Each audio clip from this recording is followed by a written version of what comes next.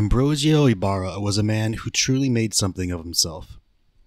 His family immigrated from Mexico, and Ambrosio served in the U.S. military during the Korean War, ultimately transitioning to a career in politics.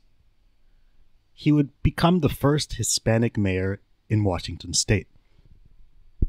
Ambrosio's son, Ambrose, was considerably less successful. He struggled with alcoholism and depression, reliant on his family's savings and making extra money through embezzlement. On August 15, 2013, Ambrose, drunk and in a depressive episode, slit his own throat in an attempt to take his own life. He was discovered by his son, Aaron Ybarra, who is the subject of today's video. Aaron began struggling early in life. For high school, Aaron attempted both an online program and homeschooling, but was unable to meet the requirements for a high school diploma. To complete his degree, and then some, Aaron began going to Edmonds Community College, where his mother worked as an admissions manager. Yet, despite being enrolled for over six years, Aaron was unable to obtain a degree of any type. He ultimately gave up on education and began writing, mostly novels and screenplays, none being successes. He earned an income by working at the local gun range, which was one of the few places in which he had some sort of environmental mastery, being highly experienced with guns. Aaron lived with his parents, who kept a large amount of guns at the residence, they saw nothing wrong with this, despite Ambrose having had attempted to commit suicide in the past. Aaron, just as with his father, suffered from alcoholism and depression. However, unlike his father, Aaron had the habit of making his violent thoughts into public statements, such as, I want a SWAT team to make me famous because no one cares about me. Aaron made such statements face to face with police officers he saw in public and via 911 calls. As a result, Aaron was involuntarily committed twice to a treatment facility. Aaron had also been placed in detox programs, and not just for alcohol. Aaron had a drug habit that included amphetamines, cocaine, and heroin. He was also on Prozac, an antidepressant, and Risperdal, an antipsychotic, prescribed to him as a result of his obsessive compulsive disorder diagnosis. When Aaron was 26, he decided to stop taking his medication. His stated reason was that he wanted to feel hatred for the world again. He wanted to make a name for himself, to join his idols Eric Harris and Cho Seung Hui. Nailed it. The main actors in the Columbine and Virginia Tech school shootings, respectively. Notably, Cho Seung Hui also had literary aspirations that did not play out. Aaron Ybarra is 26 years old, by the way. Keep that in mind. We are talking about a man heading into his 30s who idolizes high school shooters and 20 year old incels. And perhaps the word idolizing should be taken literally here, as in the religious definition. Aaron previously took a pilgrimage to Columbine High School, and he would even hear Eric Harris's and Cho Seung Hui's voices in his head. Man, imagine hearing Cho Seung Hui's monotone edgelord voice in your head all day. I'd probably go crazy too. You had a hundred billion chances and ways to have avoided today, but you decided to spill my blood. You forced me into a corner and gave me only one option. The decision was yours. Now you have blood on your hands that will never wash off. After his Columbine pilgrimage, Aaron began planning an attack on Seattle Pacific University. He took a campus tour, which is an otherwise normal activity. But according to Aaron, as we'll see in the coming interrogation, the campus tour was actually Aaron manipulating the school staff to help him plan his crime. In Aaron's mind, perhaps because he could not find success elsewhere, he's created an image of himself as a masterful manipulator and meticulous murderer. Yet, to the outside world, Aaron is just a middle school tier edgelord who's quickly approaching his 30s. And therein laid the problem with Aaron's ego. He wanted to be taken seriously. Nothing epitomizes this more than Aaron's attack itself. On the day Aaron walked onto campus with a shotgun, he found, to his surprise, that no one perceived him as a threat. Instead of feeling threatened, people were laughing at Aaron. thinking he was engaging in some sort of performance art or live action role playing. When the police found Aaron's journal in his house, they discovered that Aaron had originally planned to enact revenge against those who had bullied him throughout the years, targets such as bar goers who had disrespected him and a drug addict who had robbed his house. But ultimately, Aaron decided to target unassociated individuals at a large college instead of those who had wronged him in the past. The University of Washington, hey, that's my school, was on Aaron's list, as was Washington State University. Yet, Aaron in the end decided not to target either of these large public universities, instead, opting for the much smaller private school Seattle Pacific University, which was chosen simply for being closer to Aaron's home. A true crime of convenience. Or perhaps we could just put this down to Aaron being an underperformer in everything he does, whether that be going to school or planning a school shooting. In any case, the mismatch between Aaron's actual target and Aaron's written intent shows that his written reason for killing is likely a lie. More likely, Aaron killed out of envy. Aaron's perception of success throughout his life was primarily defined by academic success as a result of his family makeup and his own failings in education. As with many school shooters, Aaron grew up in the shadow of an academically successful older sibling. Moreover, as with some prominent school shooters, including Jillian Robbins and Kimveer Gill, Aaron had a parent working in academia. Other things Aaron had in common with school shooters include previous run ins with the police, growing up with firearms, depression, idolizing previous school shooters, an absence of romantic love, dating, and sex life, substance abuse, academic underperformance, suicidal thoughts, having a family member in the military. While Aaron ultimately pleaded not guilty by reason of insanity at his trial, you will notice that his statements and claims in this interview with the police to be far removed from the ramblings of the clinically insane. Also notable is the fact that Aaron contradicts himself over and over in this interrogation. He happily sips on the sugary beverage provided by the police while claiming that he merely wanted to leave this world behind. He claims he just wanted to commit suicide, yet still cannot resist asking the police the status of those he shot so as to know his score, which he can compare with those of other school shooters. The main detective in this interrogation, gives a great performance, building rapport quickly with Aaron. He understands that Aaron has an inflated ego, but without an equally inflated IQ. Hence, the detective is able to use fulfilling Aaron's need for attention as a tool to extract information. Without further ado, here is the full interrogation of Aaron Ybarra. I've made some edits to improve audio quality and to remove most of the footage of Aaron alone in the interview room when nothing is happening.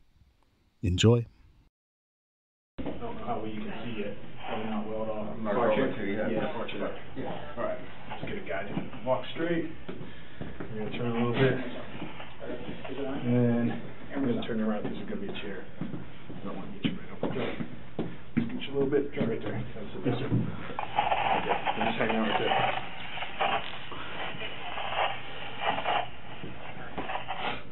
Aaron, can you look at me? No, No. I, I tried earlier, when I tried to wipe off my face, but just, Okay. I gotta give it a bit. Well, listen to me. I'm Detective Cooper with Seattle Police. Okay. Okay, you're up here on the seventh floor, uh, the investigations floor. Um, everything's being audio, re- video recorded. You're on- in a police station just for your safety and our safety. Okay. And I just got to quickly do this uh, advisement for you. I think the officers already did to you. You have the right to remain silent. Anything you say can't be used against you in a court of law. You have the right at this time to talk to a lawyer and have one present while you're being questioned. If you cannot afford one, one will be appointed for you. Do you understand those rights? Yes, sir. Awesome. Okay, so Type, do you want some water or something like, partner? I would love some. Okay, I'll get some water. Um, you guys just wait out here? Yes, we can do that. Wait up, wait up, not in there, wait out here? Okay, thanks. Yep. Go and check the shoes.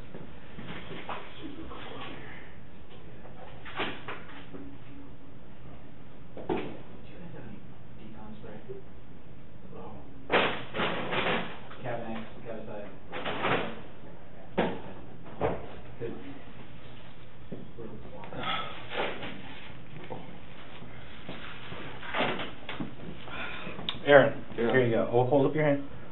There's some cold water for you, okay? There's a cap on and everything like that. I broke the seal up already for you, but uh, have a sip. I'll be back and I want to talk to you in a minute, okay?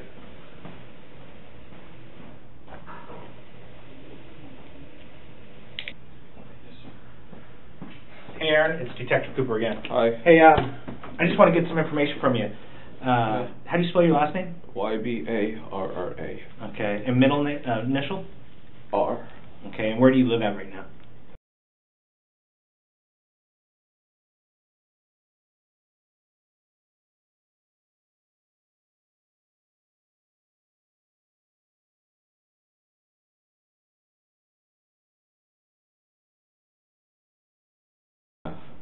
Who do you live there with? My parents. What's their names? Janice and Ambrose. And how do you pronounce your dad's name? Ambrose. Ambrose, okay. And do they have the same last name? Yeah. Okay. What's your cell phone number?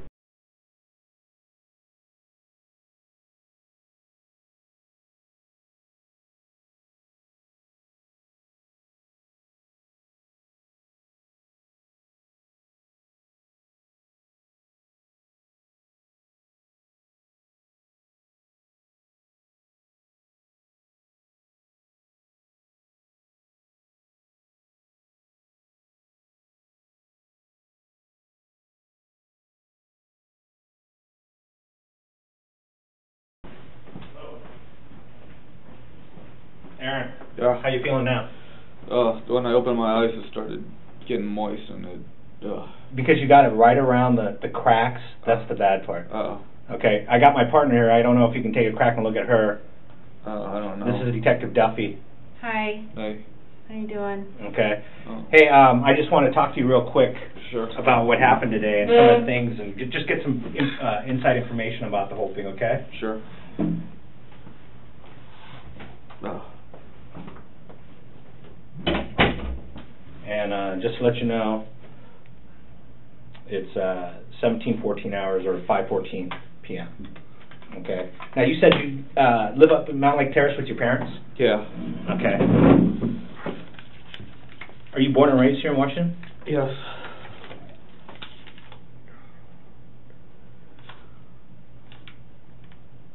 Uh, where were you? Were you born up there? I Mount was Lake born Terrace? in, in Seattle. Okay. Lived up in Mountain Lake Terrace all your life? Yeah. Okay. Where'd you go to high school at, bud? I was homeschooled throughout high school. Oh. And what do you do for work? Uh, I work at Fred Meyer in Lake City. And uh, what do you do at uh, Fred Meyer? I'm a partial clerk. I'm the cart pusher. I like Fred Meyer too. The Yeah. one on Lake City, the one with the rooftop parking type thing? Yeah, the second story. That's a nice, uh, that's a nice Fred Meyer. They always Nice have everything little- on sale too. Yeah, doesn't have everything, but it it does have most of the things, and it's nice to get around that because it's smaller. Um, you work there full time, Uh, part time. part time? Do you have any other jobs? No. I just started working there three weeks ago. And you, how old are you again? 26. Be 27 next month. I see that. Um, as far as, I mean, uh, do your parents know where you're at right now? No, I. Uh, they were at work when I started packing my stuff. Okay. Hmm.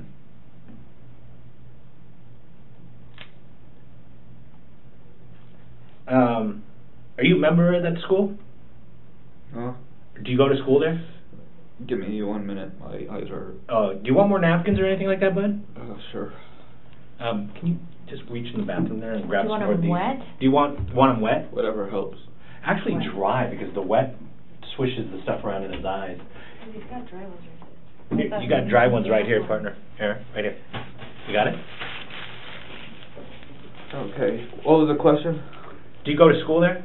Where? At, uh, uh, what is that, Seattle Pacific or Seattle University? Oh, um, no, I don't. I, I wanted to. Well, I'll explain. Uh, well, I know, but I'll explain uh, when we move on. Okay. Because I was talking to the patrol officer that brought you in here, and they're telling me, you were telling them stuff about what happened today.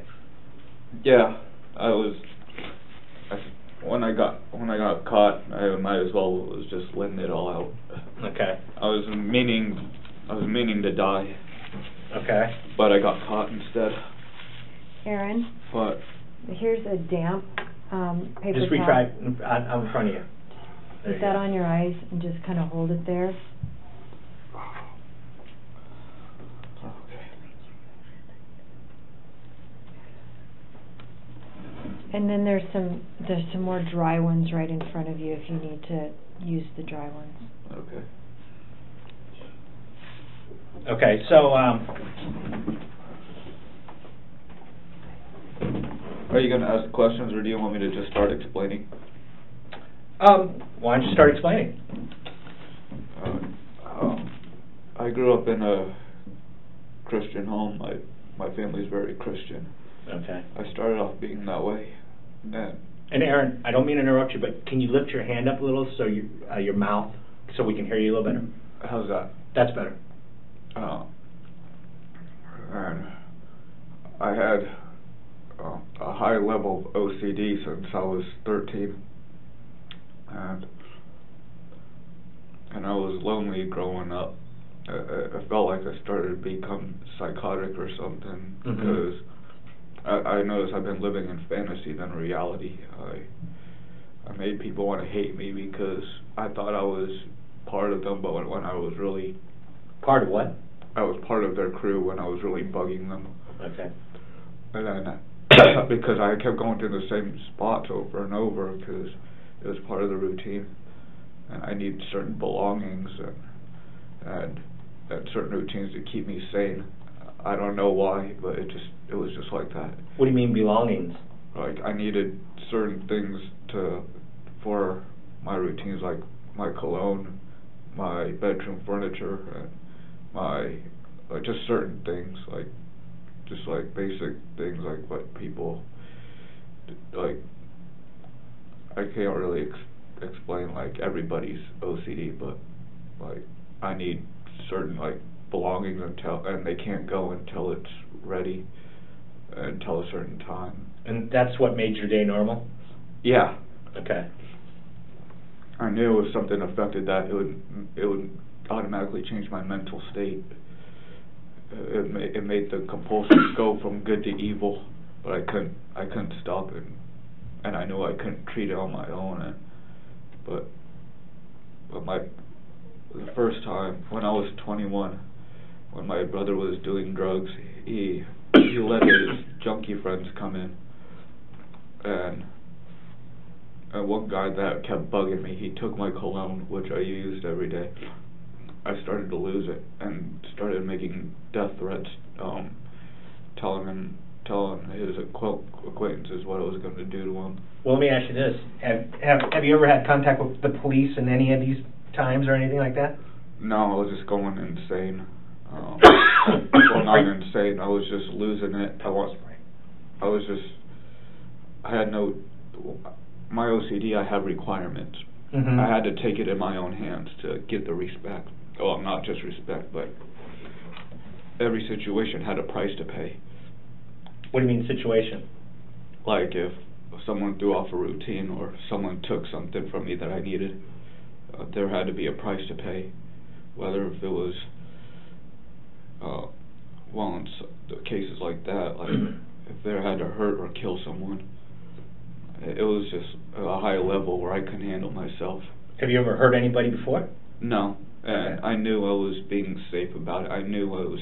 I stayed away from those kind of people Mm-hmm. because I was trying to be good. Mm-hmm. I wanted. I had. A, I knew I had a future to live up to, and I wanted to be the good guy. Mm-hmm. But my parents didn't understand what was going on with me, and when I was 23, I had a.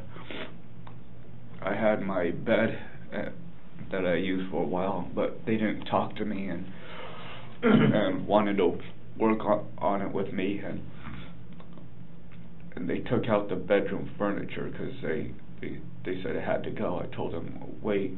I told them not yet, and, and because it wasn't time yet, they just wouldn't listen. And and then I started losing. I st- I kept drinking daily. They ignored my drinking and told me to go to therapy, and it was all about therapy. Because Are you seeing anybody right now? what do you mean?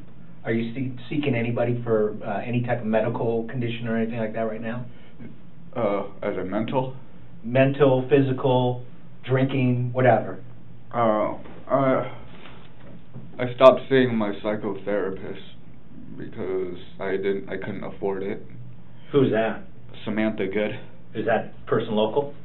Uh, she uh, her office is in Eastlake. When did you stop seeing her? It was recently. It was about a probably a about three months ago maybe. And when you say East Lake, are you talking down on East Lake or East Lake over like on the east side? Uh, Eastlake, um, just past the U District. Oh, okay.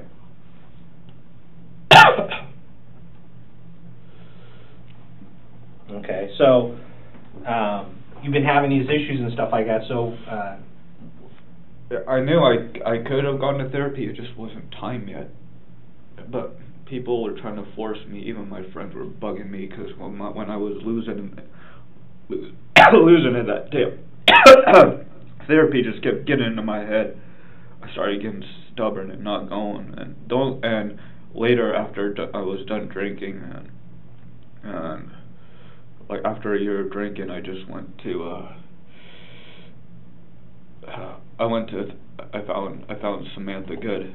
Uh, the main reason I went to therapy was to get everyone off my back. I knew it wasn't going to do anything, but I gave decided to give it a shot anyway. who was paying for, uh, Dr. Good? My my parents did at first, and then they had me do it because I realized I was drinking while I was seeing her. And, were you, uh, prescribed medication or anything like that? Yeah, from my psychiatrist uh, Heidi Iwansky. How do you spell her last name? Uh, I W A N S K I. And what, would- what she prescribe you? The Prozac and Risperdal. she she diagnosed me with transient psychosis and OCD. But when I realized, but when she told me had OCD, I realized that it's more, it's uh, on a higher level than what people really think. Like I can't control myself no matter what's going on. Okay. I can't control my mental state. Even if I wanted help, I couldn't stop wanting to do the things that I've been planning on doing. Okay. Um, so, how, I mean, how long have you had these feelings? Uh, the evil feelings or the good ones? Both. Uh, since I was 13, the the good feelings up Mhm. till 23 when my stuff got taken away. My bedroom furniture got taken away. So in the last three years, you've started having these bad feelings? Yeah, And can you describe the bad feelings to me? I started. Uh, I I just felt nothing but hate, 100% hatred towards the world, towards everyone. I threatened to massacre the local bar once um, because I just wanted everything and everyone to die. And then Columbine came to mind. I don't know how, but it just hit me. I've been when I was watching the news when I was a kid. Oh, Columbine, like Eric Harris just came into my head. The mastermind of the shooting Right. and I kept identifying with him ever since the the past three years because he just made everything so exciting. He made hate so exciting. Well, I mean, in Columbine, they used explosives and stuff like that. Did you ever thought about that, or did you that cross your mind? I'm not smart enough to make it uh, make uh, to go on the internet and figure out how to make bombs.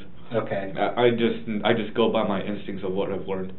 Okay. And what have you learned? Um, how to uh, shotgun rifle and pistol shooting. Okay. Um, my family are marksmen. Your mom and dad are? Well, my well, my dad and my brother are. Okay. What's your brother's name? Joel. And uh, do you have any sisters? Yeah, Brandy. B R A N D I. Any other brothers or sisters? No. Okay. And when my issues were going on, humiliation started going, uh, because all my friends were worried I was gonna kill them in the, during the death threats of the bar, and I couldn't look at them the way they used to. They they treated been treating me different. Like they've been closing in on me, and I've been getting paranoid. Like the world was going against me. And Right. How old is Joel? Joel is 25, 24, going on 25 in February. And how about Brandy? Brandy is 29. Okay. Excuse me. that pepper spray is getting to me too a little. Uh, Um, so you've had these bad feelings since about uh, 23, the last three years. yeah, Did you talk to this with your psychiatrist and your uh, and Dr. Good too? yeah. I told them everything. Um, they, know they know a lot more than anybody than than uh, well, especially Samantha Good. She knows almost everything I've told her. We had a lot to talk about in the past two years. They ever uh, did they ever co- uh, confine you or anything like that? What do you mean? Like um, involuntary commitment or anything like that? Uh, voluntarily commitment? And like at a hospital to be evaluated or anything like that? No, I no, I refused. They suggested it, but I refused because I've been into the emergency room for drinking. It was uncomfortable being in a hospital. I, I totally understand that part. Um, so, um, you talk about what you know as far as your family being marksmen. Uh-huh.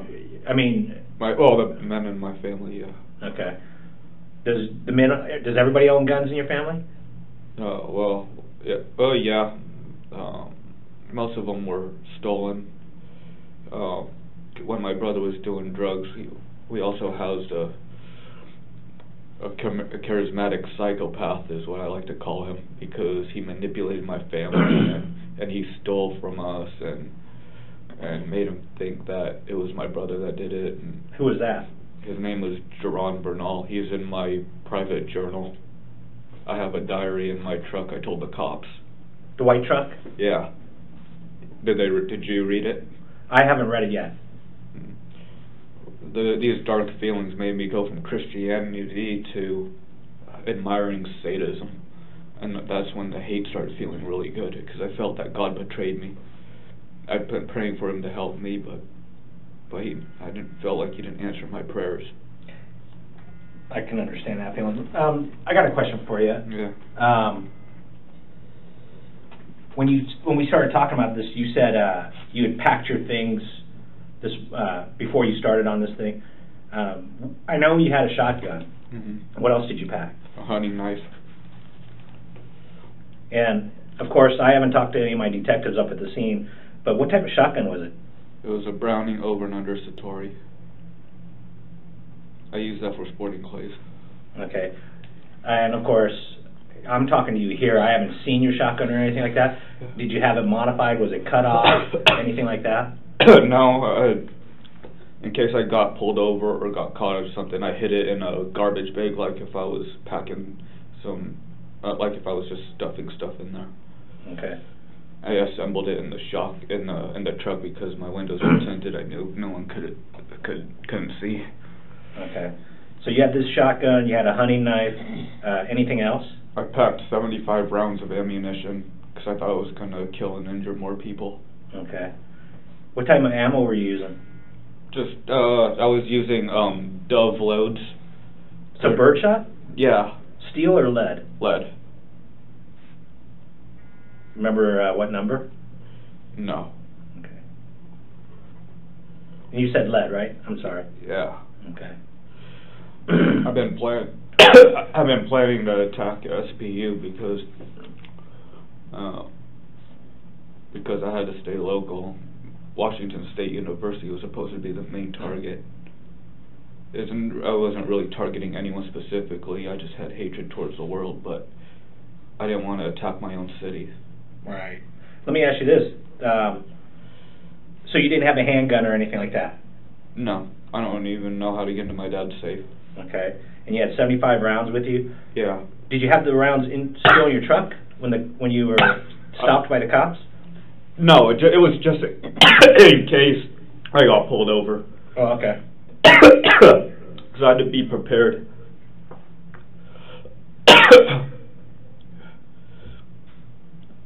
You want to take a sip of water? Uh, oh, it's just, I don't know, it's making it worse when I'm trying to open my eyes. Well, you don't have to. I mean, because it's the, the, it gets into the mucous membrane in the eyes and everything like that. And the more you rub it and stuff like that, you just kind of have to just sit calmly Uh, uh, and try not to touch your eyes and stuff right now. Um, so you you broke the shotgun down and, and put it in a garbage bag before you took it out to your car this morning. yeah, I put my backpack in there so it'll look like it, there's no shotgun in there, there's just a bunch of stuff, and my sweatshirt I have on now, How long is the barrel on a shotgun? thirty-two inch. Okay. So you assembled it in your car when you got to the school. Yeah. Um, the officers were telling me you said something about that you, you planned that and you told me this already, but uh, that you've taken a tour of that campus. Yeah, two Mondays ago, I manipulated these, uh, of quite a few students, but, but I used two girls to give me a private tour. I didn't even have to ask. I, I acted like a transfer student, and the way I approached them made them want to give me a tour. Where'd you meet them at? I, I was just walking around. I don't know specific areas. Did you get their names? Uh, I met this one black girl. She was really nice. Uh, I don't know how to pronounce or I don't really know how to um, spell her name. I don't know how to spell her name, but I think you s- pronounce it as Adroja. Okay. That's the closest I remember. And then she gave me about a 10 minute tour. Really helped me out in my writings. I told her I would single her out for doing that because I didn't even have to ask. She just volunteered, so I showed a little more remorse for that. Okay. Did she show you the whole campus? As much as she she knew. Okay. Um, is she a English student or was she a, a Science. a science? Yeah, Okay. I think I remember that. and is she from the United States or from uh, another country? I don't remember. Okay. I know she lives in a dorm. Okay. And um, remember if she was a freshman, sophomore, Uh, senior? I don't remember, but I remember the second girl being a, uh, being a, a sophomore. Okay. And the other gal was she a white gal or black gal? Asian? She was a white girl. Her name is Kylene.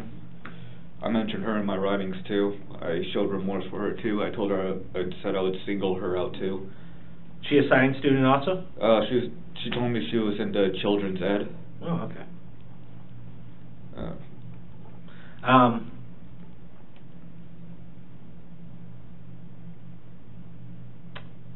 so two Mondays ago, is that what you said? yeah. Okay. I And- even talked to the um, the academic um, person. I I manipulated him too. I was acting like I wanted to transfer there. Where were you telling? Where were you transferring from? Or what was the story? Edmonds Community College, where I was where I was going a few years ago. So this was ac- academic advisor. Yeah, Remember who that was? I I don't remember his name, but he wore glasses. He had short blonde hair. Um, he he should remember me if he if my face is on the news. okay. Um, I wasn't really trying to get fame. I was just uh, trying to. I was really just trying to express my hate, how I really felt about the world. I understand. Um, so two Mondays ago, remember what time you were up there? Um, about one one ish, one thirty ish. I remember checking the time when I was in the when when I found the the Otto Miller Hall. That's where I met Ardroja. Okay. That was about one fifteen maybe. So you started.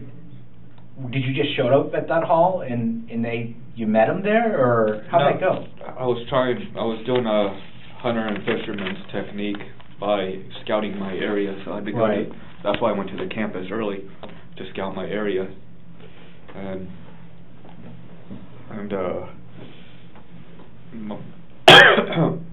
and I asked. I went up to a few students, guys and girls, asking them where the math room is, and that's where Otto Miller is, because I told them, uh, I'm going to, I'm thinking about transferring here, blah, blah, blah, blah, blah. Why the math room? I, I'm just curious. Oh, just to be casual, because I was, I told them I was doing business major. Oh, okay. And then you ended up at the Otto Hall, or what's it called? Auto. Otto Miller. Otto um, Miller. One one girl told told me uh, where it was, but the campus was too big for me to to recognize because I had not haven't experienced universities. Right. And then I pr- approached this this guy. He was about 19 or 20. Mm-hmm. Uh, I was trying to make sure where I was going. He was a nice kid. Um, I don't I didn't get his name or anything, but uh, he he was white, uh, short blonde hair. He he told me where. he told me uh, he pointed to the direction where I was where I was meant, meaning to go. Okay. So, did the two girls show you the inside of uh, Otto Miller Hall? Yeah. Okay. How much time do you think you spent there? The- oh, I just well, uh, first time. Well, um, actually, not those two girls. It was the the that one the one guy and girl. Drink a little water, bud. that one guy and girl I told I mentioned. Right. They led me there, and I just started exploring the hallway. Okay. Did you go through the whole building, or? I tried to go as yeah. Uh, I just went to the first part, and then that's when I met Adroja. She was talking to her blonde friend. Oh, okay. I was gonna approach the blonde girl, but she was opening the door to get to class, and then I caught up with Adroja. Okay. I don't know if that's exactly her name, but that's the best way I can pronounce it. Um, do you know how many floors are in that hall? Uh, two. Okay. Did you ever make it to the second floor Um, when on your scout? no, I just made it to the first. I just wanted to clo- the closest area I could find. Okay. Did you check for exits and entrances and things like that? Ingresses, egresses type thing? Like for students to escape. Yeah. Um, I knew there was one in the back, but Okay. but um, it was a long run. Okay. And I mean, I know you know the police caught you and everything. You, you this was your own plan, right? Yes. Okay. No one else is helping you with this or anything like that. No, the guidance of of Eric Harrison's Seung-Hui Cho in my head Okay. helped me out. Especially Eric Harris. He was a oh man, he was a master of all shooters. Mm-hmm. Let me ask you this: So, when you scouted this two Mondays ago, Mhm. you checked for the exits and entrances to the the building. You never made it to the second floor. No, I didn't bother. So, how long do you think you were there on your scout? Uh, in the building, I was just explore, ex- walking up and down the halls to make sure I, I know where there's classrooms and make and and yesterday I made one one more stop, but because I had to make sure people were there, because just in case I didn't, I was in the middle of finals or classes got out earlier. Yeah. And um, remember what time you were there yesterday? Around three, so there were people walking out of class, but Okay. there were more people than today. Okay. So people, I'm assuming people got done with their classes early before finals. So did you go there yesterday at three and come back because the, this it sounds like this whole thing started about three thirty. I mean, yesterday when you was it like a dry run yesterday then? Uh, yesterday, yeah, I, I just, I just had to, I just made a drive to make sure I saw people.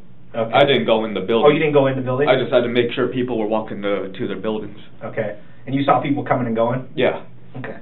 Um, so this morning, I mean, uh, when did you? I mean, when did you decide to do this this morning, or was it last week, or did you have this day in mind, or how did you come up with this today to start today? I was trying to go with what Eric Harris was planning, like pick a day, but I couldn't do that. I wasn't, I wasn't as organized as he was. Right.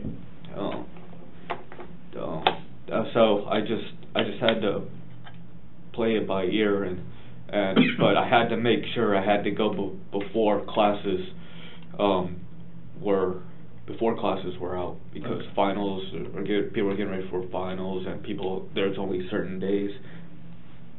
And how did you know they were having finals? I got information from the the academic person Okay. and I and I snuck some information from other people. Like my brother-in-law said he was going to Seattle U. I asked um, I asked him when. Um, so he's on. I snuck. A, I snuck. I was being sneaky and said, "So do you? So you're on finals this week?" He said, "No, a couple of weeks," but that was last week. Okay. And um, so, but you you basically learned from the academic advisor two Mondays ago. Yeah, I- this would be finals week. Uh, what? The. Um, I think next week was f- supposed to be finals week or this week, but I had to go before uh, before I knew it was too late. Okay. If I had, if if I knew it was too late, then I would wait over the summer and then pick and go into a, sometime in the fall. Okay. So this was kind of your last shot My before the last school shot. vacated, vacated, right? Yeah, and I had, and I, I wanted to get out of this world so bad that Mhm. I was like, I can't wait anymore. I can't attack Wazzu or Central. I'm just gonna go local and use what I have because I've been trying to save up for the white, the the right weapons, the wa- right equipment, and and I was and I was trying to be well organized, but I my OCD kept making me want to spend more money, and I was disorganized with that. Did you buy the shotgun yourself? Oh yeah, from a from a member um, at the ranch, but that was like years ago. That was I was about 19 at the time. Did you? So if, if I run the serial number on that shotgun, it's going to come back to you. Um, I don't know if we put in my name, but I know I know he wouldn't have. Uh, I, I don't want to get him in trouble because No, he had won't. okay, because um, because this is what when I was on my good side. Right. And and now nobody could knows no I'm sure nobody could tell that I was able to do this because I was being sneaky. I didn't want anyone to know. I just wanted to be done and over with and die. Right. Um, so, do you have other weapons or anything like that? I mean, are, are, is there more stuff in the truck that you know? When I look in the truck, am I going to find more weapons? No, I'm being honest. I'm a man of my word, even Right. ask my friends. Um, and at your house, uh, do you have other weapons at your house, at your mom and dad's house? Um, no, they got all got stolen from Duran. They got the first kid that I hit out out in the outside of the building. Right. he kind of looked like him. Um, at first, uh, well, it's like, have you heard of the story about Alyssa Bust Alyssa Bustamante, the kid who, the girl who killed her nine-year-old neighbor? Yeah. It's kind of like what she said. Uh, you're like, I can't believe I, I'm doing this, but once you do it, you're like, oh my god, it's so fun. Right. Um, and the guy, the you mean today, the first guy you you shot at? First, yeah, first guy I shot at. I was so pissed at him because he didn't take me seriously. I hate it when people disrespect me, but Right. I can't let out what I'm incapable of letting out my true feelings. But Okay. but when but I first felt I was able to get respect once I made that first shot. Uh, well, I want to get to that too, and I want you to explain that to me in detail. But I might not be the way I w- wanted to put it, but it's Right. gonna be something like that, yeah. I want. I'm still at the point where you packed every. You broke the shotgun down. You got 75 rounds. Yeah. You bought all that yourself. Yes. Okay. And you. I bought that weeks ago. I hid it in my room. I knew Okay. my parents would respect my my my room, and I hit bolt I hid bolt cutters there because when I was going on my rant about killing people when I was on my issues, Right. and so my parents locked them up, and I broke the lock. It, it had some metal on it, so Okay. Um, so you only have that shotgun. You brought that knife. You broke the shotgun down, but you reassembled it in your truck. yes. so what time did you leave your house today? Um, I got on a, on a slow start. Um, I left around two fifteen, but there was a little bit of traffic, and I was getting ready around twelve thirty, getting ready for the day. Uh, I delayed my time because my brother called, and I called him back. He didn't suspect a thing. I didn't even act suspicious. I didn't even feel remorse for what I was about to do. For Right. I didn't even feel for how my loved ones felt. It just went, it's true what they say. I even wrote this in my journal.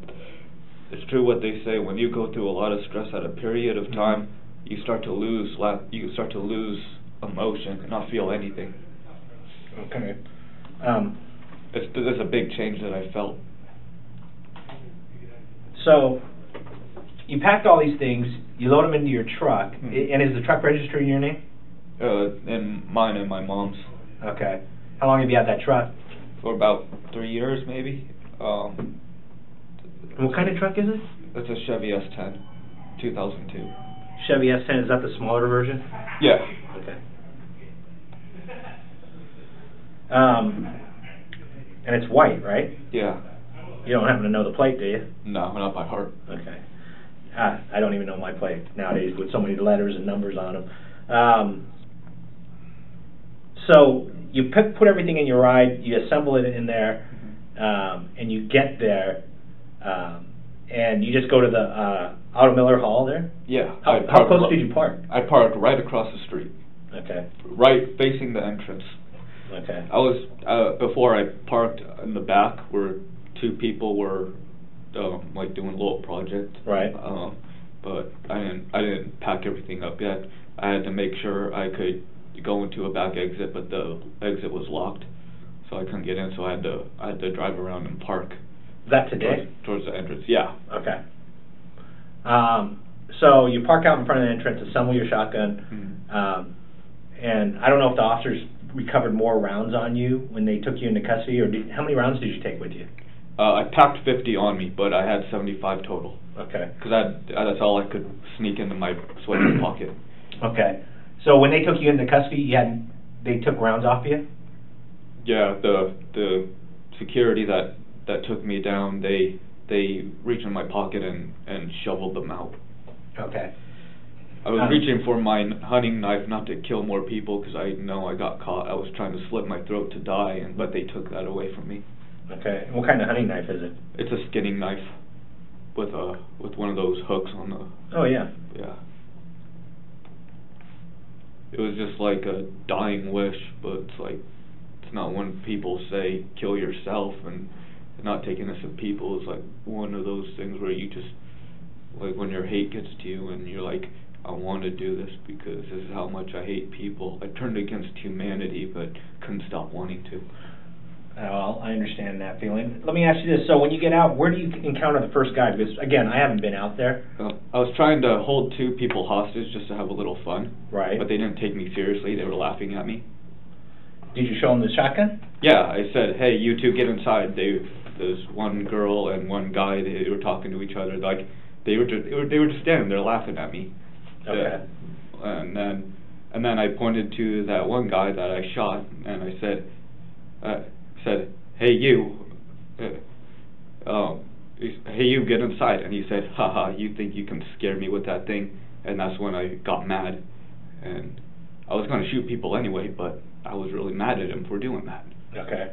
Was that the first guy you shot? That was the first guy I shot. When he turned his back and Okay. started walking, I put one in his shoulder. I think it was his shoulder.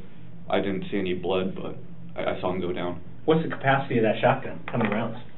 Oh, it's a double barrel, so two. Okay. Accidentally dry fired my second barrel, so that's how I got caught.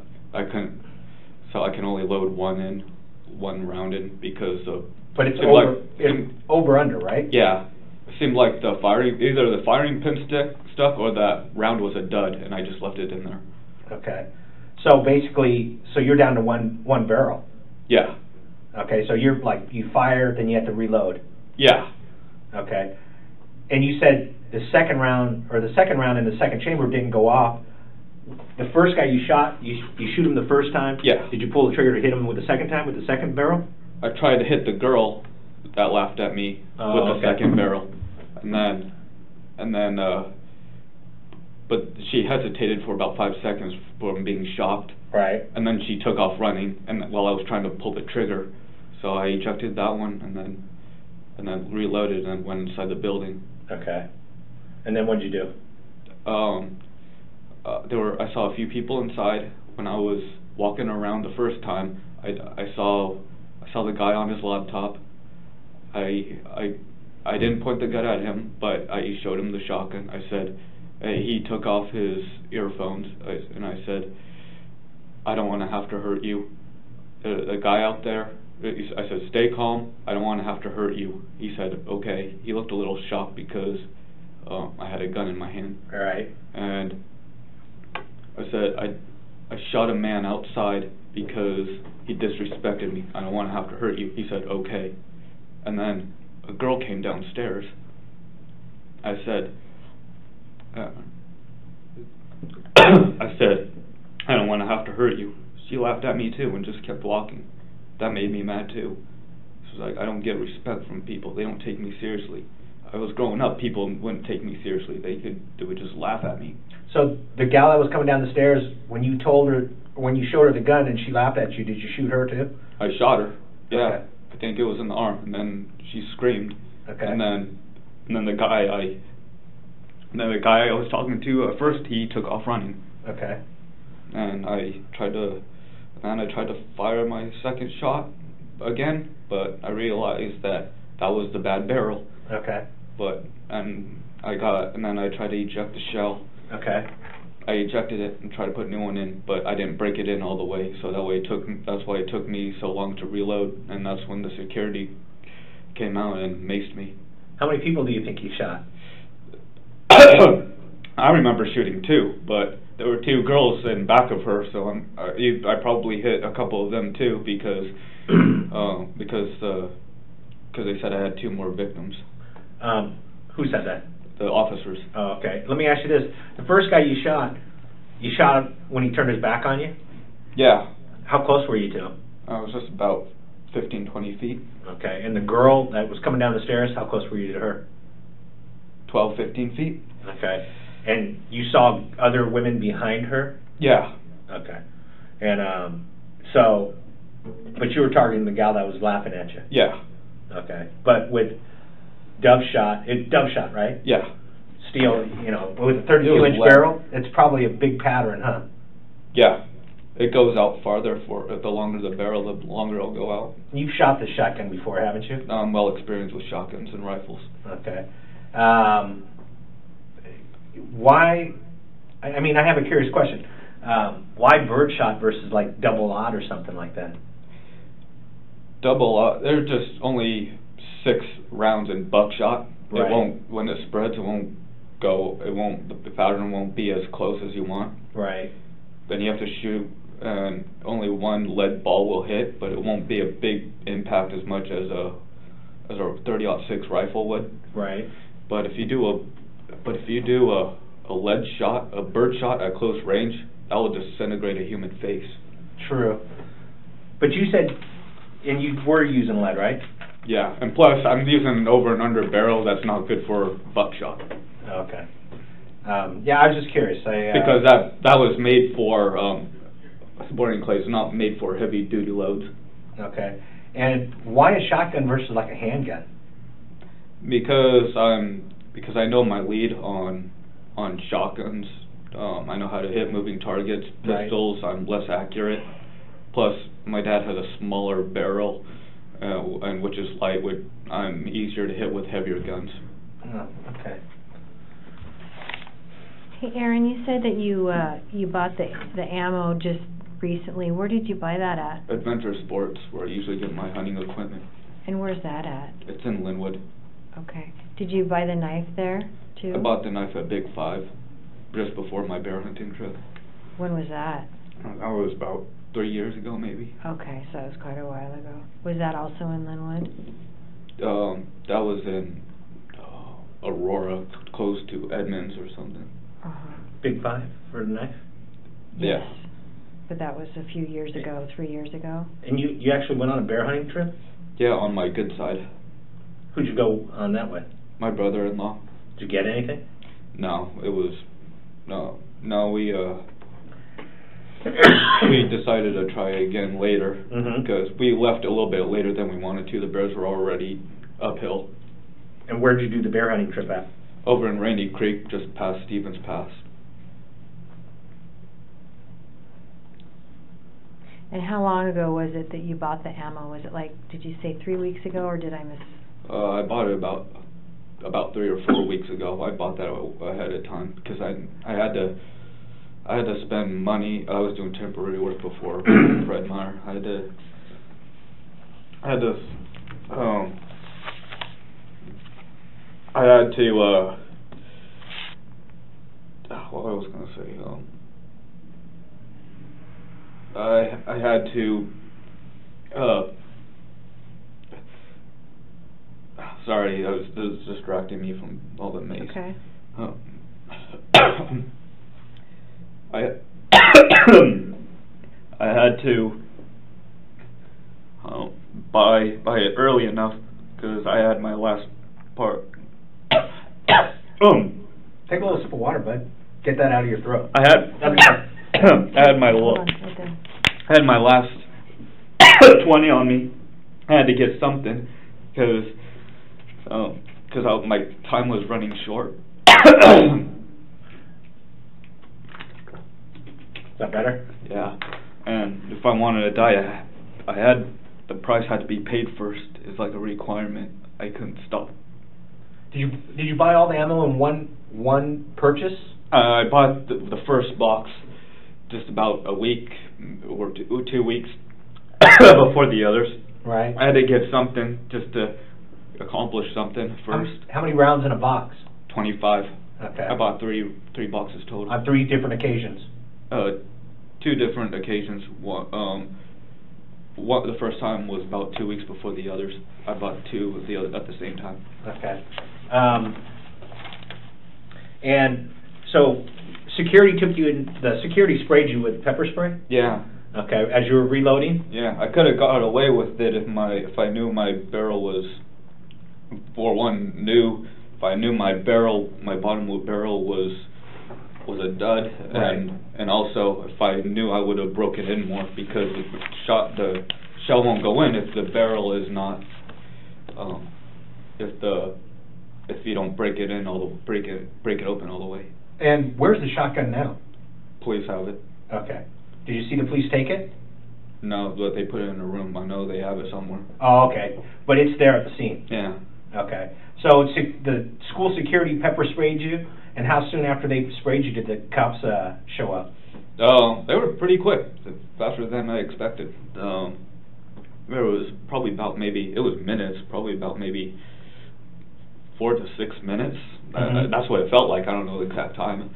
And then, Okay. uh, well, no, no disrespect, but the, how the way it felt, just I don't know, feeling that hateful power. Just when I heard the SWAT team was there, it just made me feel good. Mhm. But that's but that was me feeling my hate. When did you hear the SWAT team was there? the officer said that the the SWAT, SWAT team had, SWAT team was there and uh, and they had their keys or something. Oh, okay. Um, well, what if you ran into the SWAT team guys? Uh, well, if I had to, well, I've been wanting to die, so they gave me no, if they gave me no choice, I have no choice but to shoot at them to get them to kill me. Mm-hmm. Main priority was to die, but I had to pay the price somehow. Right. It was just a requirement. My OCD just gets to me. Okay. it's like extreme or something. Like Okay. no matter like I've been trying to warn people like I no matter how hard I try, I can't stop. I can't control who I am when if something affects the the good parts of it.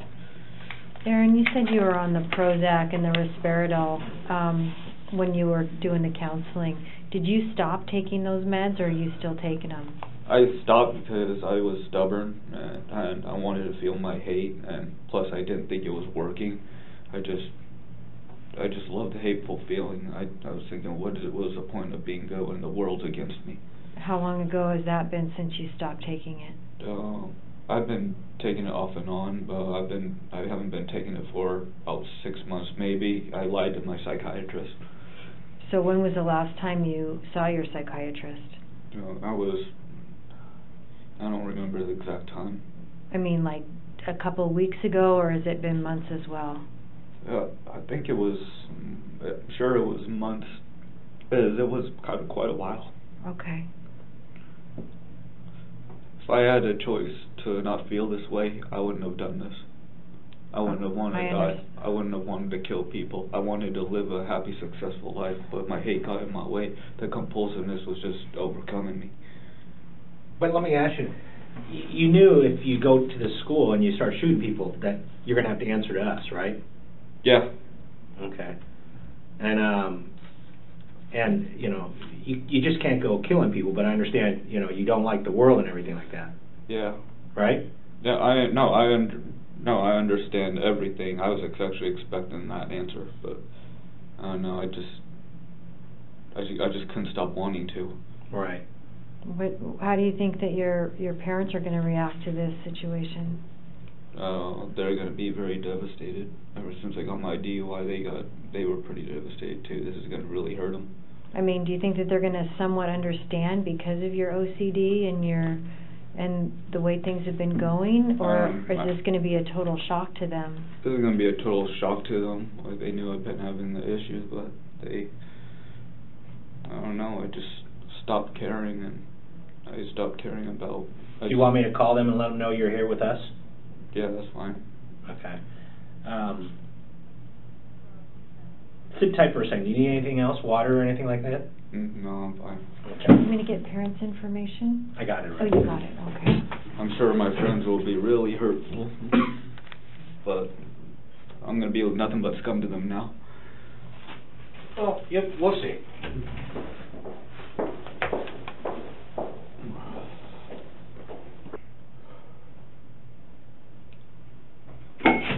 Aaron. Yeah. Hey, it's Detective Cooper. I got a question for you. Sure. Are you feeling okay right now?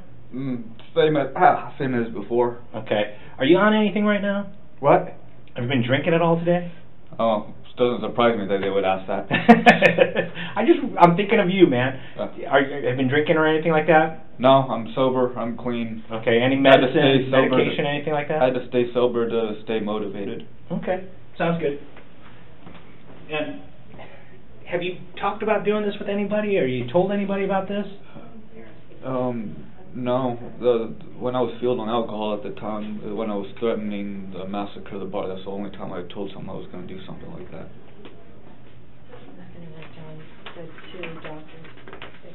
We'll just get signatures and get the names. Can you see good enough right now? Mm. No, I've been trying to open my eyes, it just won't work. Um, do you have any problem uh, giving us authorization to get your medical records from your doctors? Um, as in your permission? Well, we need your permission. Yeah, go for it.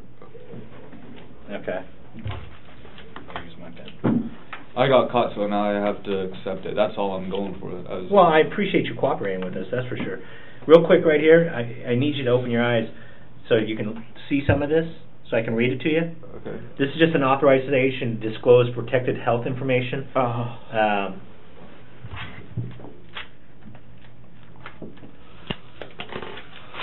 I'm gonna put your name on here. While, while he's doing that, I just have a couple questions about the, the OCD. You were kind of, and, and I'm asking because I, I don't under, I don't understand it. I don't know much about it. mhm. You were saying the thing about the bedroom furniture and about the cologne. Is They there were- any other examples that you can tell me about that, um, that would really get under your skin? Um, I I can't confront anybody. That's why I've been holding my anger into. I've been taking people's crap for so long. If like if I if I get hit or anything, then I have no choice but to kill them. So that's why I've been backing down from fights and all that. Okay. Mm, So people started not to take me seriously or anything. When I said I would mess somebody up, I didn't mean fighting. I meant sadistically. Okay. And you've never hurt anybody before? I never wanted to. When I, um, when I get your journal and I start reading your journal, Uh-huh. um, are you gonna have notes and stuff about this in there? Oh yeah, I'm I'm telling you some things that's gonna be in there. What else?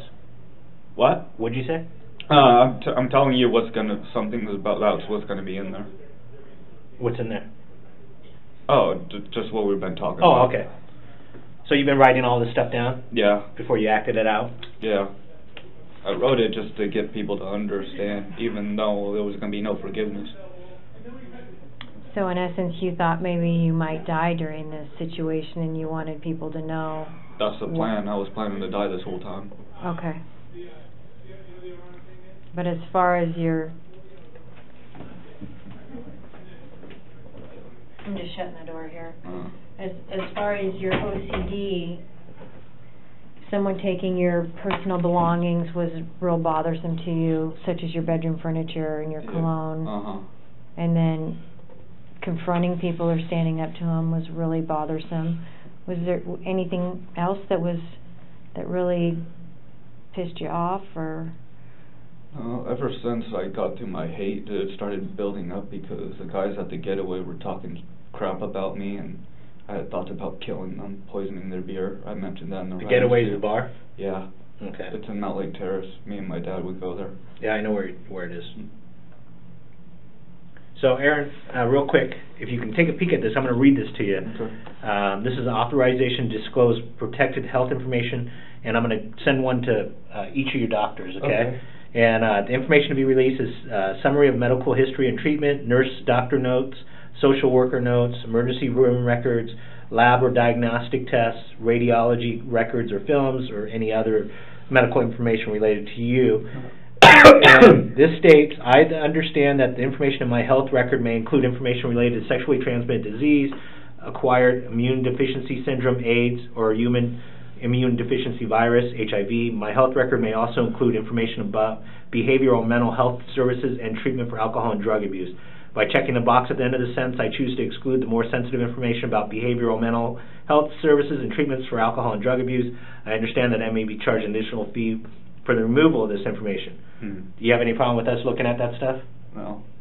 Okay. Health information shall be released to the Seattle Police Department. In addition, medical facility staff may discuss my medical condition and any treatment with the assigned detective or his or her designee. I understand that this authorization expires in 90 days unless otherwise specified and, and that the disclosed information is protected under state and federal law 42 CFR Part 2 and RCW 70.24. I reserve the right to revoke authorization in writing at any time prior to the 90 days uh, period expiration except to the extent that the facility, facility which is to release information has already taken action in accordance with it.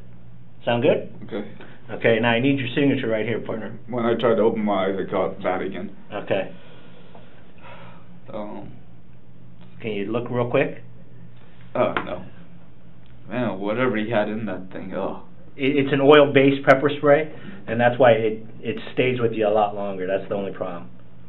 I had to give that security props. He was pretty brave. Well, I did have, I did have a dysfunctional barrel, so it made it easier for him. Man, it was my fault for not breaking. When was the last gun. time you test fired your gun? Uh, um, over at the range. Yeah. Oh, that was a, that was a while ago. Probably. Oh, okay. That was I was probably about 21 maybe. Okay, so it's been a while since you fired that shotgun? Yeah. Okay. Um, think you can sign this right here for me? Can you look a little? Um, not yet. Okay.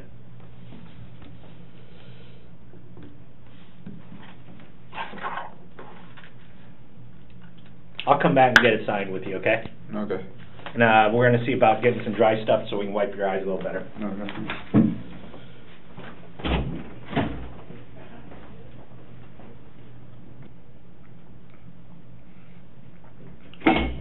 Hey, Aaron. Yeah. It's Detective Cooper again. Hi. Um, do you have a computer at home or anything like that? yeah. Um, and were you communicating on any of this about this stuff on on your computer, or do you have anything stored on your computer? No, I didn't put anything on there. I Okay. just writ, written everything on my in my Journal. journal. Um, how about Facebook or anything like that? Um, the only thing I did on Facebook today was um, trying to. Uh, I, I messaged. Uh, I messaged one of my friends saying we should have. Oh, too bad we didn't.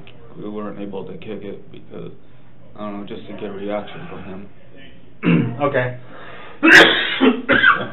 Also to feel some remorse. It was a mixture of that. Okay.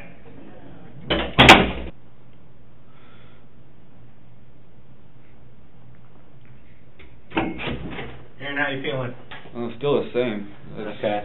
Strong. Try to use the um the dry paper napkins right here, and try to wipe in on your eyeballs if you can. I know it's going to be a little abrasive. Hey, um, Huh? when you went up there today Uh huh. and you got out of your car, what were you wearing? I was wearing my my fish shirt just to be casual, and uh, and it's the last thing to remind me of the good times because I'm big on trout fishing. Okay. Did you have that sweat jacket on too? I put it on um before I started loading up my shelves. Oh, okay. Do you have glasses on? I have always worn glasses. What kind? What type? Uh, I don't know what kind they. Uh, they're probably on the. They. Like they got knocked- sunglasses? No, they were. They're regular glasses. Are they My- prescription? Prescription, yeah. Okay. They got knocked off my glasses when he took me down. Okay. But nothing else? No. Okay.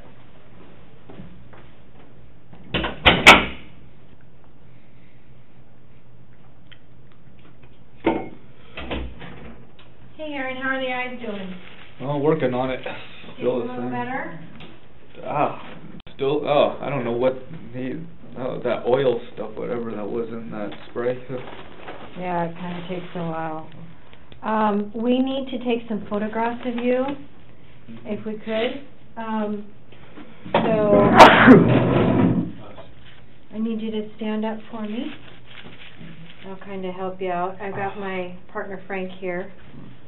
So if you hear another person here, I'm gonna kinda guide you over here mm-hmm. towards me. And then we have just kind of a big white wall right here, but I'm just gonna have you stand first this way. Okay. And then I'll just ask you to kind of rotate as I take pictures, okay? Okay, I don't know if I could open my eyes really well. You don't, you don't have to open your eyes.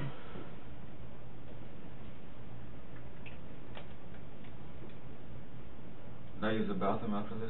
Certainly, that would be perfect, because we Oh. need to get your clothes, That water really hit me. yeah. And just-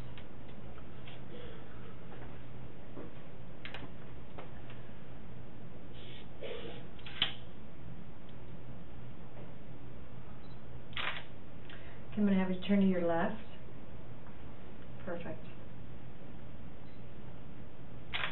Turn to your left again? Yeah, perfect. One more turn. And then face me again, turn this way again.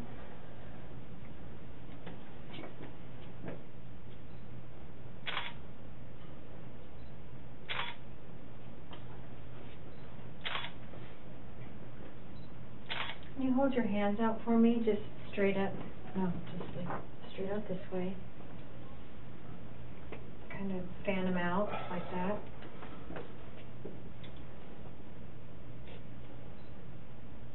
Can you flip them up like that for me? Do you have any tattoos or anything? Just one, my, uh, shoulder blade.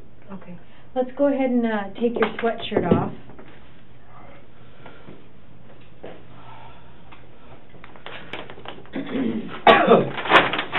I'm gonna cover, there's probably pepper spray on all this clothes. Might help. Oh, yeah, I guess not. Okay, I'll just put that in this side.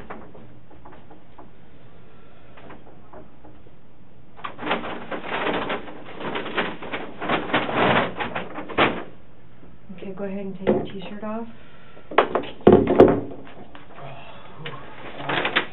We're gonna give you a white suit to put on.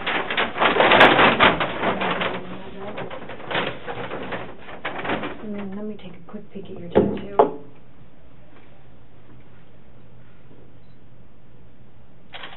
Okay. And then we're gonna escort you to the bathroom, and then we'll get the rest of your clothes, okay? Come on this way, sir. I'm gonna kinda guide you here. Maybe you can rinse your eyes while you're in there. Yeah. One more.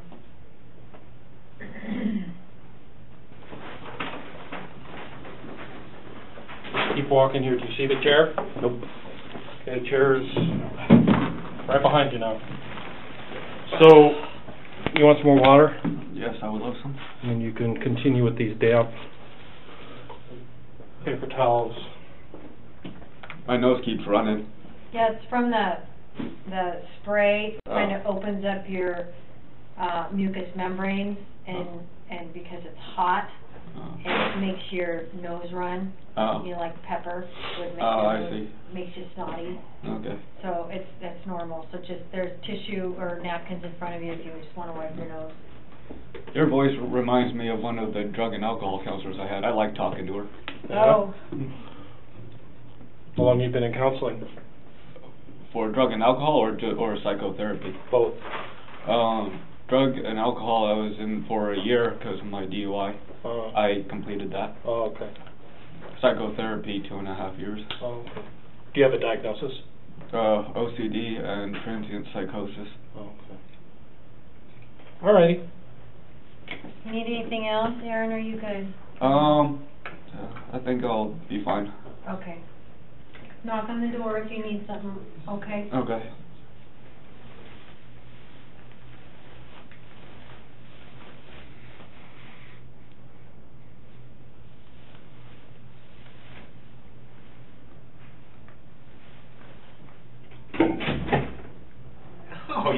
better. Yeah. You look much better.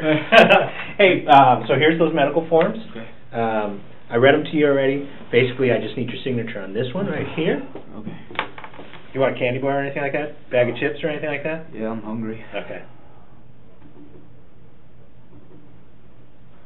Uh, what do you say? And that one right there. Same spot. We're limited on our chips, but uh, I'll see what I can dig up for you. Sit Okay. tight for a second. Okay, I'm going to give you a choice. Cool Ranch or nachos or both? Oh, Cool Ranch. You want both? oh yeah. that works. okay, sit tight for a second, but No we'll be problem. out- All right. take that if you're done.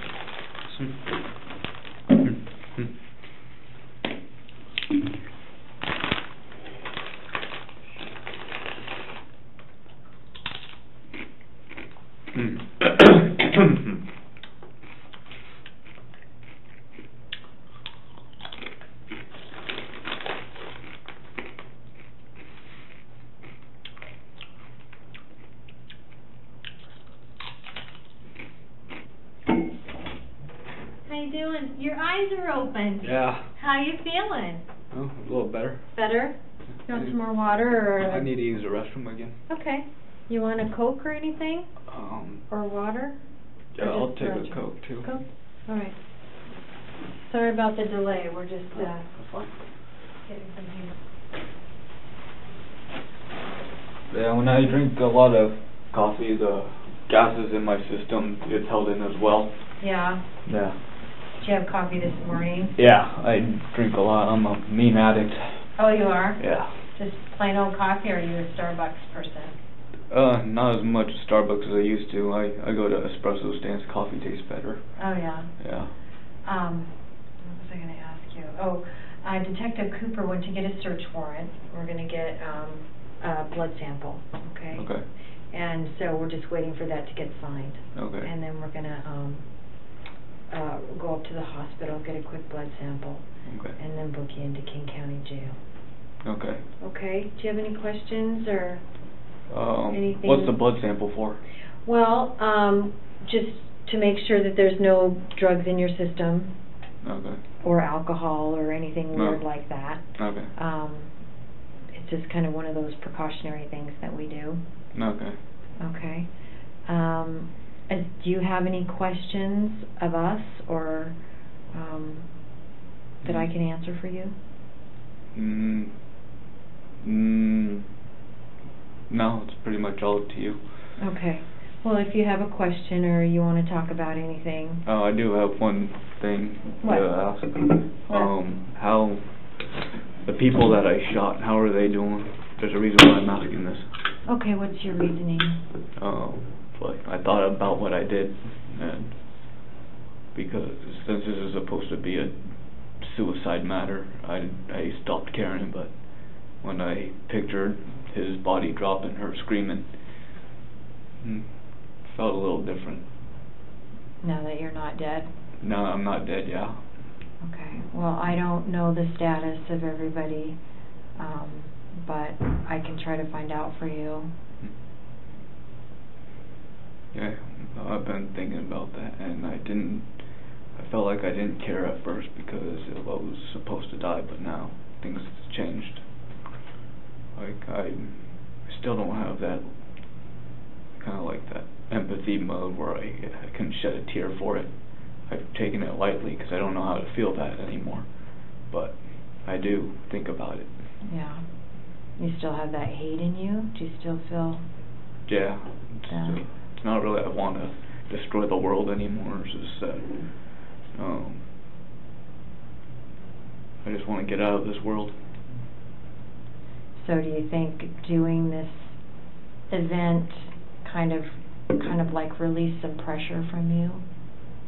Yeah, kind of expressing it made a lot of pressure go away because I never held in. I I've held in my anger for so long, and and the stuff that was making me go crazy just turned things around for me, caused humiliation, which caused even more hate, and I was going out of control. I couldn't control my who I was, and and uh, even when people say they understand, they don't know how serious what I was going through. They, like, I was unstoppable, like, un, like a freight train on, with no conductor. Yeah. Like, I was just on the go.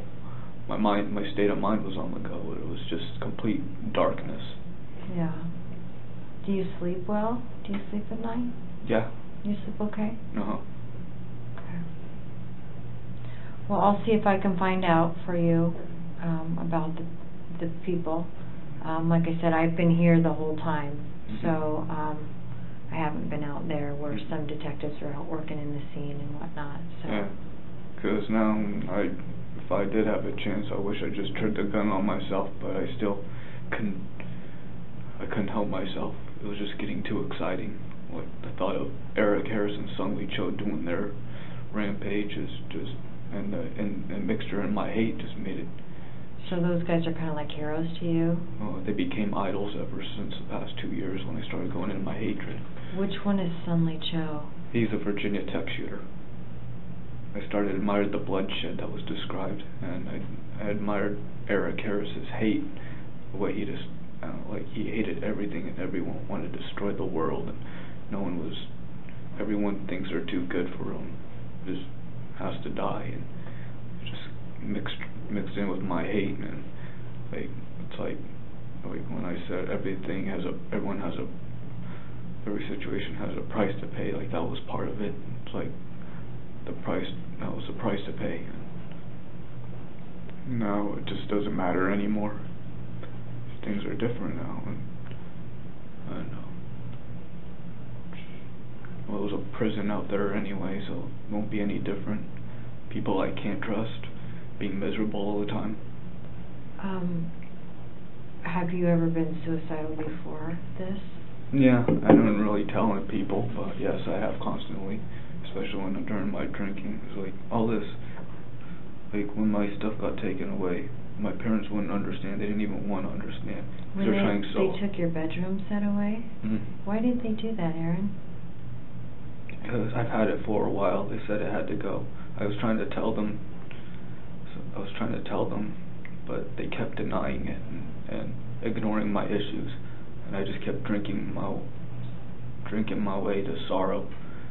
I kept scaring my friends, and they couldn't think that they didn't do anything. I kept begging for my family's support. They just they just said go to therapy, but I but that wasn't the case yet. Uh, they had to work with me on it. They couldn't. They were trying to force me. Did they go. replace your bedroom set, or did you have Yeah, to sleep on the floor, No, or what happened? Yeah, they replaced it with the hospital bed that my cousin, my that my mom's cousin slept. Uh, that was in my um in my great aunt's room before she passed. Hmm. She, she thought just taking it from behind my back would just make everything go away, and I have no, I have no choice but to accept it. I was trying to tell everybody that's not it, and they're just trying to, they were denying me, and they were ignoring my issues until I said I went to therapy, and everything was becoming worse for me. I, it wasn't, I was trying to use alcohol as a tool to keep myself calm because I know how I was getting Mhm. because I knew I was going to pick up a knife, either stab myself or stab someone off the street. So I, I try to find a way to medicate myself, and Right. that's, and that's been going on for a year because I've been going crazy. I needed something to calm me down, but I drank too much alcohol where that mixed in. But I, but, but with alcohol, I can only express it with words. I'm not capable. I'm, I can't. I'm not focused to do physical things. Only when I'm sober Yeah. but ever but I've been underestimated by my family because I'm not the kind of person that would do that because I back down from fights. I get all emotional. There was a reason why I was doing that because because that OCD thing it, I had requirements. I couldn't I couldn't stop myself. I couldn't even tell myself no without even doing it and and and that's why I was backing down on fights. If someone confronted me, I would, I would threaten them and say, "Oh," and and if they dare try to hit me or steal from me, uh, something's going, something's going down. One of us is, someone's gonna die, and it's not gonna be me. Right. How how was high school for you? I was homeschooled through through high school. I wish I went to high school in a way because I was lonely, and I think I went into a psychotic mode where I was living in fantasy. Did your mom homeschool you? Yeah, we went to a resource program. I made quite a few friends there, but we all we're all just kids with attention. Yeah. All right. But I wanted people to understand how serious I was, what was going on. And I, I knew what, I was capable of, and I was trying to get people to understand. I knew going to just going to therapy wasn't going to help it. I need I need them to work on it with me, and because there's a certain time when there, there's a cutoff time until I can move on to the next step, and things were about to. And then I, when I was done with the school quarter, things were get re- getting ready to be um, get better for me. I was starting to mature out of that out out of that stage and going to the next one. Okay. All right, my man. Well, let me go see what I can find out for you, okay? Okay. And we'll try to get this as quickly as we can. I felt uh, like I realized that I am no Eric Harris at all. But I felt like I did before, going through my hatred. Now I'm thinking about what happened. Uh, if someone would have done that to me, then that would have been horrifying. I could have been. Oh, I uh, wonder what that would be like if I was him. Yeah. Okay. I still can't shed a tear for them, but I do think about what happened. Okay. Now that I'm not dead, it's now a little more serious than. Now you just kind of got to deal with it, huh? now, now, yeah, now I got to deal with the consequences. Yeah. Yeah. What do you think should happen to somebody that does something like what you've done? Um.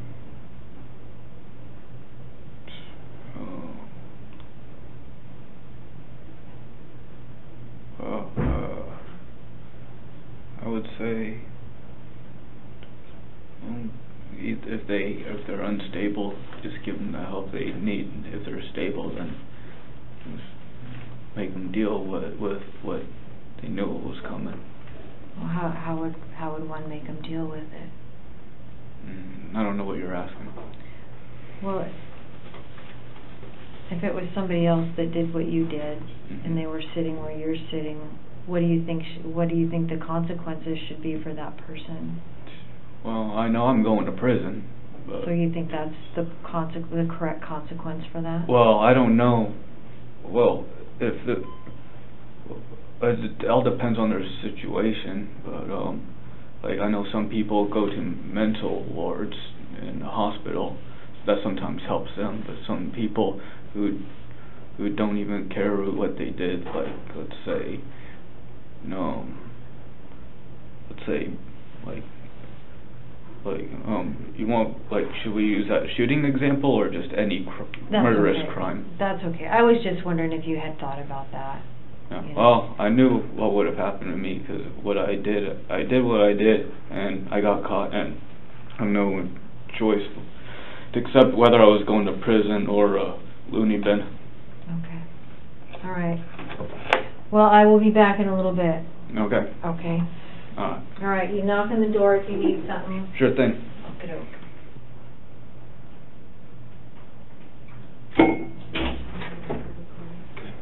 Okay, are you ready to go? yeah can i use the bathroom one more time You can.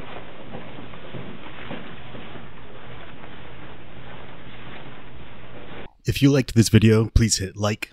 It helps me out with the YouTube algorithm. Also, please subscribe if you haven't already. Most of you are not subscribed. If you really would like to help this channel out, consider signing up for my Patreon. This has been your host, Damon Verial. Thank you and happy holidays.